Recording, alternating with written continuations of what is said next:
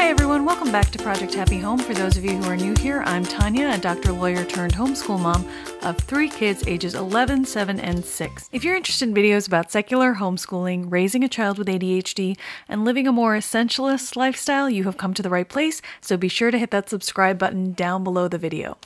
In today's video, I will be showing you a flip through of Evan-Moor's Skill Sharpeners Science for grade 6. Now, I am an affiliate of Evan-Moor, and my affiliate link will be located in the description box down below. If you are watching this video when it posts, you should know that Evan-Moor is running a buy one, get one sale for Skill Sharpeners from November 2nd to 6th of 2020, and that coupon code will be found in the description box down below. So, so it's a great time if you're interested in Evan-Moor Skill Sharpeners workbooks to pick up one and pick up another one entirely for free. Now, Evan-Moor makes Skill Sharpeners workbooks in many different subject areas, as you can see, from spelling and writing, reading, math, science, critical thinking, geography, and grammar and punctuation. They range in age from pre K through sixth, so there's a whole host of different workbooks that you can look into. One of the things I like best about the Skill Sharpeners workbooks is how brightly colored they are and how easy it is to pick a topic area. So, for example, in the grade six book, there are four different units, and you can really do them in any order depending upon what you're focusing on this year. So you have Unit 1 is Organisms and Ecosystems, Unit 2 is Climate and Weather, Unit 3 is Plate Tectonics, and Unit 4 is energy. Within each of these units, you can see that there are four subsections. So, for example, in organisms and ecosystems, you have inherited traits, chromosomes and DNA, genetic variation, and artificial selection. So, as you go through, you can really hone in on what you're interested in throughout the year. There's no reason to do this workbook in order. If you're working on energy first, for example, in your core science, you can do that. A lot of people ask me if I feel that the Skill Sharpeners books can be used as a core curriculum. I really think it depends on your own family and how you approach science. For us, we like to approach science in one full subject area for the year, so this is really more of a supplement. When we use books like this, we use it as a supplement because while organisms and ecosystems might fit in his biology year, uh, the climate and weather and plate tectonics probably don't. However, the way I view Skill Sharpeners books is not only for the core science exposure, but also for reading comprehension skills, being able to discuss the reading, being able to absorb different definitions. I really like the layout of the books. I think they're very visually attractive to children. I think that they grab your attention if you have a child who doesn't like black and white workbooks, the same page, the same types of activities on every page, this is a great option to look into. I find that the Skill Sharpeners books are great for summer learning as well. So it really depends on your family how you would use this book. To go through it, if you look at the margin, you can see that they're all divided into different colors based on the four units. And within the margins, it actually talks about the individual subject areas within the unit. So you have our planet's interior, our changing planet, and it's easy to see what each of the page sections relates to. Here the first unit has this green margin and it is organisms and ecosystems. So as you can see, it's about 30 pages long or so. And every single page is varied, but they do follow somewhat of an order in their formatting. At the top of the page, you can see what the page is about. So here's reading. You have more reading pages here. Then you have visual literacy, vocabulary practice, a hands on activity, and then application.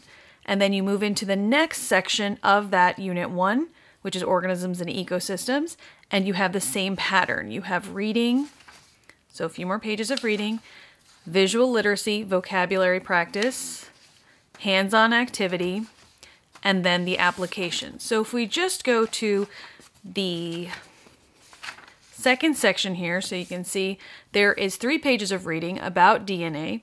The reading pages have these squares which hold definitions and there's always a little concept bar here in the margin where it tells you like one of the main concepts you should understand.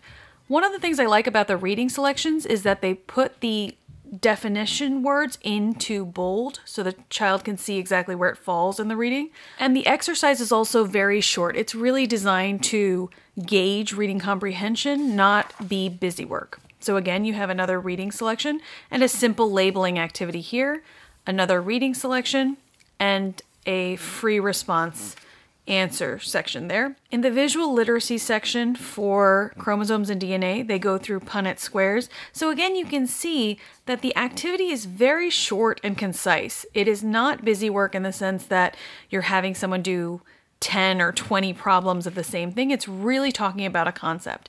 And then vocab practice has a secret code here, and you might see that repeated in vocab practice throughout the book. The end of every single section within the units has a hands on activity, which is a full lab. So, if you were to use this book as your core science, you would have the labs already included. Then you have a lab for every single section of this book. So, every unit has four sections. I believe you have 16 different labs, which is a very robust uh, curriculum if you are going to use it for the year. At the end of every section, so at the end of chromosomes and DNA here, you have an application page. The application page is designed to be an essay response question, so here it's about dominant and recessive genes influencing the inherited trait of blue eyes. I actually never make my child write the essay here. We do so much essay writing in our literature studies that I like to use these application pages as an opportunity for oral discussion. So it's really up to you and your homeschool and how you do it. But as you can see, this Skill Sharpeners book really does address a lot of different learning areas. So you've got this reading section, you've got vocab, you've got essay writing, all of those subject areas are folded into this science book. So keep that in mind when you are planning out your year and what you want your child to read. You don't really need a full on subject area for for vocab if you already have vocab being studied within these workbooks. I'm going to flip through the book now just so you can see the variety of different activities that are included. But as you can see in the labs, you do have a lot of graph practice, you have visual um, representation of data, you have some exposure to diseases like sickle cell anemia, genetic modification, dog breeds. Again, this application page the reading pages. There's really good graphics in these books as well. One of the things I've done with some of our older uh, Skill Sharpeners workbooks after we finish them is I actually cut out some of the pages and laminate them because the pictures are actually good review. So here you're getting into the earth science section with the angle of sunlight. Again, here you have practice with graphical interpretation.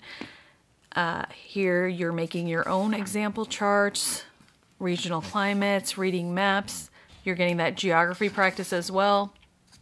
Hurricane categories. The vocab practice generally is like some sort of activity like that, like a crossword or fill in the blank. Here you have another hands on activity where you're studying the Coriolis effect.